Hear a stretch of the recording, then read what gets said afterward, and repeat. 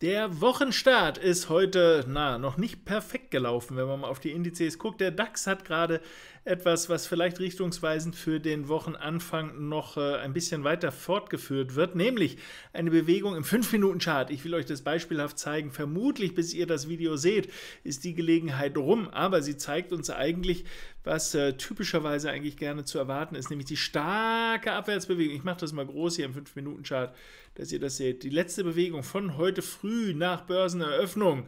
Heute Nacht war ja wenigstens so ein bisschen die Tendenz nach oben, aber Börseneröffnung hier heute Morgen danach scharf runter. Jetzt aktuell hier die wackelige Hochbewegung und eben die Chance, dass der Kurs klassischerweise das Ganze nochmal mit einer Fortsetzung nach unten eben fortsetzt. Also aktuell, wenn ich mir das angucke, was wir heute seit Börseneröffnung hatten, ist das alles ganz klar ein negatives Bild. Das ist quasi zwar nach oben, aber in so einer korrektiven Form, dass ich da noch nicht so sehr von begeistert bin. Der DAX also aktuell zumindest mal noch nicht so wirklich in Topform für die Long-Seite. Das ist insofern spannend. Wir hatten ja steil runter, steil hoch vom Wochenende. Jetzt ist offensichtlich erst nochmal wieder die Abwärtsrichtung angesagt, je nachdem, wie tief der Punkt jetzt hier ist. Eigentlich ja ungefähr gleiche Länge. Wenn das ungefähr stimmt, merkt euch beim DAX Future wohlgemerkt, ungefähr 13.900. Das kann ein bisschen höher, kann auch von mir ein bisschen tiefer liegen, aber das mal so als grobe Orientierung dass man weiß, vielleicht auch 13.920, irgendwie sowas in Richtung, aber das wäre mal so eine, eine, klassische Zielrichtung für die Überlegung, äh, die wir da jetzt anstehen haben. Das große Bild, das hatte ich am Wochenende ja besprochen, deshalb will ich da nicht nochmal drauf eingehen, aber jetzt für den heutigen Nachmittag sicherlich erstmal die Tendenz beim DAX nach unten gerichtet. Schauen wir uns das Ganze mal an, wie es bei den Indizes in Amerika äh, geht, da gehen wir auch auf einen 5-Minuten-Chart und dann sehen wir, das ist noch längst nicht so pessimistisch da von der Einstellung. Hier ist der Wochenstart 0 Uhr sozusagen. Das ist das, was der Future-Markt, also vorbörslich Amerika, bisher hingekriegt hat. Es geht nach oben. Die Frage ist nur, ist das noch wirklich impulsiv oder ist es eher eine Korrektivgeschichte? Wir werden das sehen. Aber ich bin hier noch nicht so negativ drauf, denn auch das hier, was wir sehen, guckt euch mal diese Bewegung an, das ist noch so halbwegs fünffällig, ist zumindest mal überlappungsfrei. Diese Gegenbewegungen sind überlappungsfrei. Also es wäre denkbar, dass wir hier zwar diese Aufwärtsbewegung hatten, hier mit der Pause zwischendrin und dass der Kurs, wenn er hier nur wackelig runterkommt, ABC, dieses typische Korrektivverhalten oder wir sehen es hier vorne nochmal, hier seht ihr die starke Bewegung, die sehr wackelige Bewegung hier runter. Ich mache es nochmal weg, dann seht ihr es nackig. So, ja. Also wenn das hier im Laufe der nächsten ja, Stunde auch noch so weiter runter geht, dann würde ich hier sogar eher die Long-Richtung nochmal vorläufig nehmen. Denn dieses Bild ist, was das angeht, wenigstens noch einigermaßen bullisch zu werten. Das, was ich hier sehe, von heute Morgen 10 Uhr irgendwie, 10.40 Uhr, bis zu dem aktuellen Hoch, so gegen in der Mittagszeit, das ist nicht so pessimistisch anregend wie das, was wir beim DAX gesehen haben. Der Dow also in besserer Verfassung. Ich weiß, viele glauben, das ist immer das Gleiche. Es ist nicht das Gleiche, sonst könnte man sich ja auch den Index extra sparen, wenn es eh das Gleiche ist. Wir sehen, dass ja nicht mal die Amerikaner sich einig sind in der Bewegung häufig. Wenn man den Dow mal vergleicht mit dem Nasdaq, dann sieht man, dass es schon anders ist. Und wir sehen das zum Beispiel der S&P, der ist ja sehr stark auch Nasdaq-lastig, den gucken wir uns zum Schluss dann nochmal an. Wenn ich hier die letzte Bewegung von gleicher Uhrzeit, das war hier beim Dow das Tief, und wenn ich mir das angucke, das ist dreiwellig. Das wiederum sieht korrektiv aus. Also hier sind wir nicht mal so toll mehr, stehen wir nicht so toll da. Das lässt hier zwei Möglichkeiten sinnvoll zu, nämlich die eine Variante, die so aussieht, und jetzt muss ich das dazu sagen, weil ich weiß, jetzt habe ich spätestens die Hälfte jetzt schon vergrault. Also, es geht nämlich entweder hoch oder es geht runter. ja, das ist, das klingt schon doof, wenn man das so sagt. Nein, aber man kann wirklich was daraus ableiten, nämlich, wenn wir hier diese ABC-Kiste haben, ungefähr symmetrisch vorne wie hinten, der Markt hier durchgeht, dann ist es sehr realistisch, dass sich das nochmal anschließt. Also, meine Aussage ist nicht so sehr, ich verspreche euch, das passiert. Aber wenn wir dieses Szenario haben und er hier bricht, ist das sehr realistisch.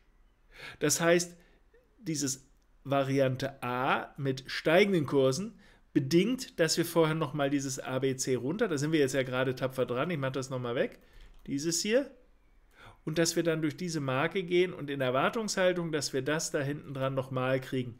Und da es vorne dreiwellig ist, hinten dran theoretisch eigentlich nochmal dreiwellig mit Zielrichtung hier. Wer es nicht sehen kann, eine ungefähre Triggermarke, das ist heute 14 Uhr in etwa 3944 und die Zielmarke 3965 plus X. Das kann ja noch mehr sein, muss nicht exakt da aufhören, aber das wäre jetzt mal so eine, so eine grobe Idee, was ich mir vorstellen kann.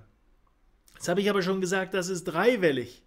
Da habe ich dann häufig den, den Verdacht, dass wenn wir hier schon, das ist jetzt schlecht gezeichnet, weil wir hatten hier hinten ja auch nochmal so dieses Ende, wenn wir so steil schon runter sind, dass wir hier auch dieses Szenario nochmal bekommen.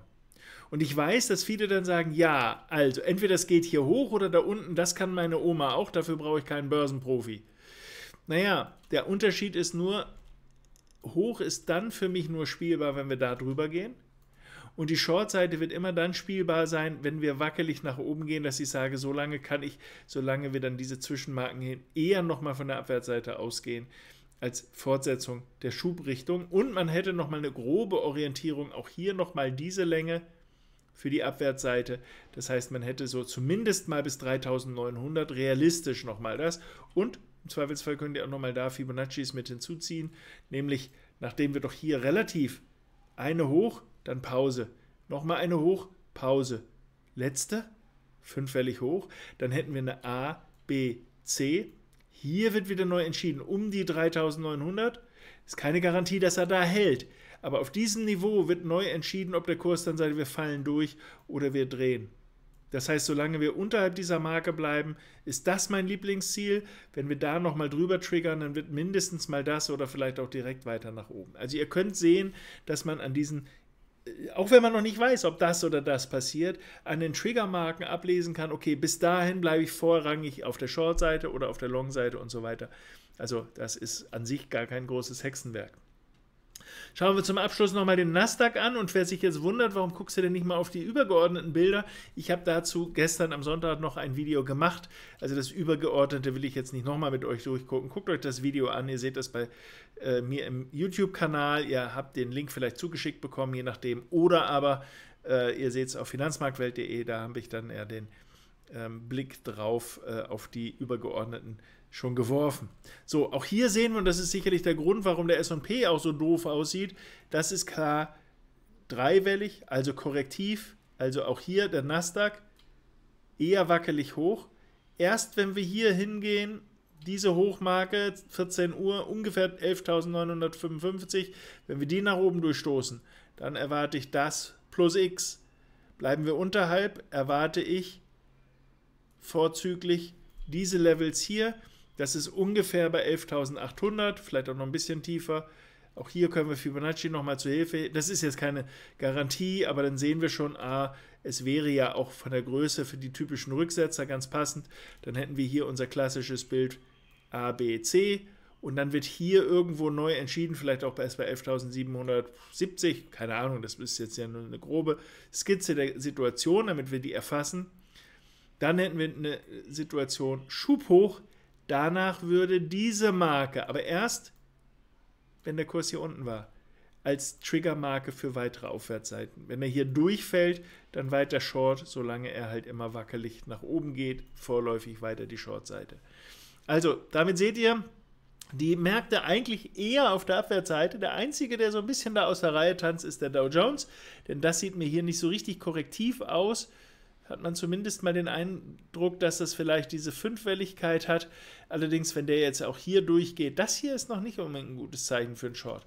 Also, weil, wenn wir hier ein 1, 2, 3, 4, 5, dann macht er eine A, B, C, dann triggern wir ja das auf jeden Fall. Wer jetzt hier Short geht, sagt sich, ja, super, Schub hoch, A, B, C runter und die nächste Aufwärtsbewegung.